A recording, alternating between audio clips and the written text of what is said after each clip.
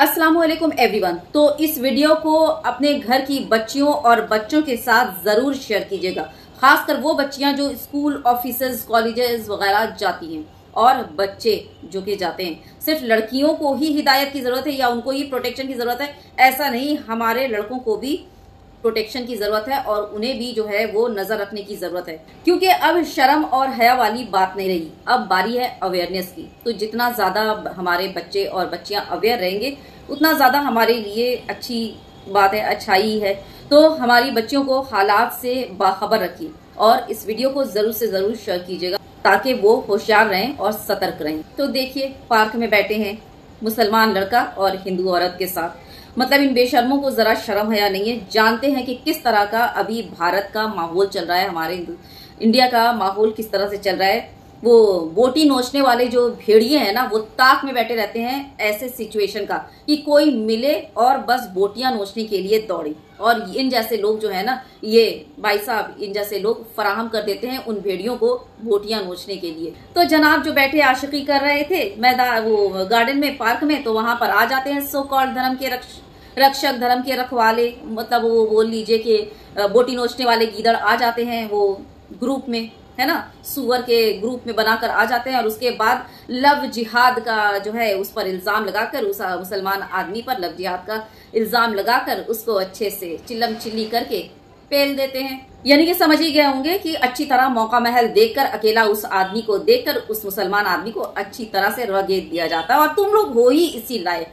तुम लोग हो ही इसी लायक तुम लोगों को अपने धर्म में जो है वो लड़कियाँ मिलती नहीं है। यहाँ पर आते हो मुँह मारने जबकि पता है कि हालात कितने खराब चल रहे हैं। ना तुमको अपनी फ़िक्र है ना तुम्हारे अपने तुमको तुम जैसे लोगों को अपने घर वालों की फ़िक्र है। क्योंकि तुम लोग ये जो करते हो ना सिर्फ़ तुम लोग नहीं झेलते तुम्हारा घर वाला भी झेलता है। लेकिन शर्म और हया तो धोकर के पी करके बैठ गए हो। तो तुम लोगों के को जो पिट, पिटाई होती है ना पंचायती पिटाई ये सुअर का जो पीटते हैं ना वो सही करते हैं मेरे हिसाब से। सही करते हैं। तुम लोग वही इसी लायक।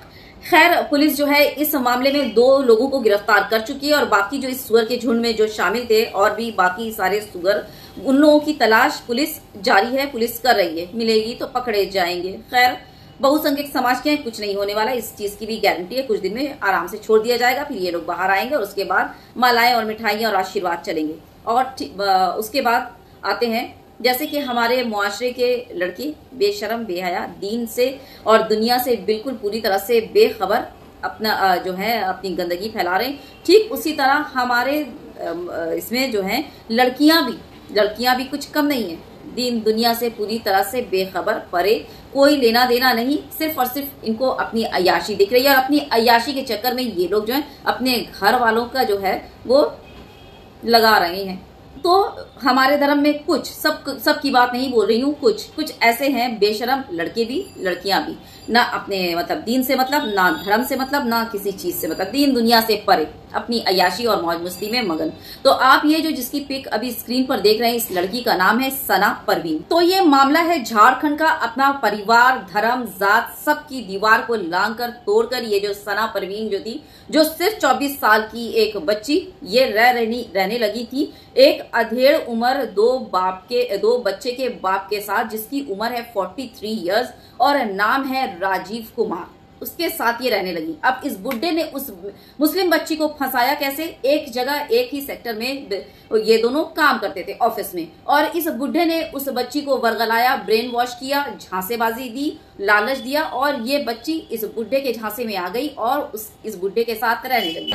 इस बुढ़े ने बच्ची को अच्छी तरह से इस्तेमाल कर लिया। जब इसका दिल भर गया तो इस बच्ची को मार डाला और इसकी लाश किसी अस्पताल में पड़ी मिली। वैसे हत्या का मुकदमा जो है, वो दर्ज किया जा चुका है, एफआईआर हो चुकी है, लेकिन ये सब जो एफआईआर और मुकदमा वगैरह जो सारे है ना, ये सिर्फ़ चोचले हैं, चोचले। अब क्यों?